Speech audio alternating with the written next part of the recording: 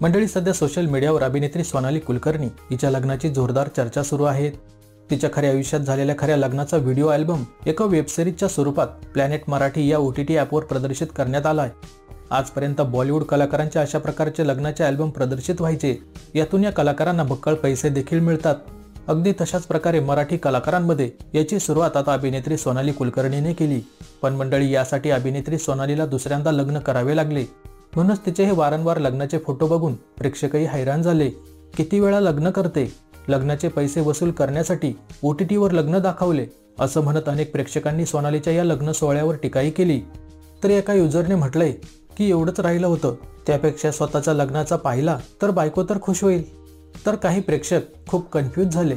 सोनालीचं लग्न तर लॉकडाऊनमध्ये झालं होतं मग हे तिचं खरं लग्न आहे का? असंही प्रश्न अनेक प्रेक्षक विचारत आहेत. मंडळी लॉकडाऊन सुरू असताना म्हणजेच दोन हजार एकवीसमध्ये सोनालीचं कुणाल बेनोडेकर सोबत दुबईमधील एका मंदिरात आणि मोजक्या पाहुण्यांच्या उपस्थितीत लग्न झालं. लॉकडाऊन असल्याने त्यांना या लग्नात त्यांची कोणतीही हौस पूर्ण करता आली नाही.